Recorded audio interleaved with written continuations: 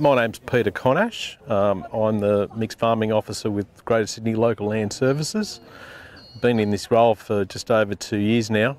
I have a pretty strong, very strong uh, irrigation background and uh, the mixed farming role is very diverse. I work with a number of different industries within the Sydney Basin and uh, the demonstration farm happens to fall in under my portfolio as well.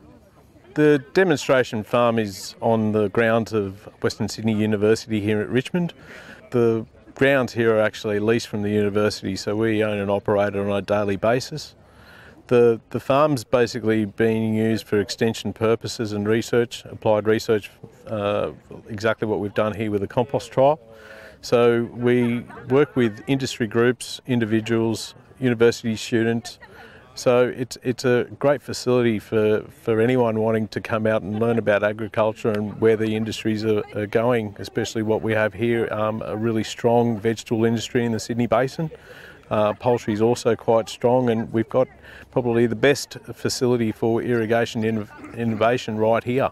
So great place to come and uh, come and visit.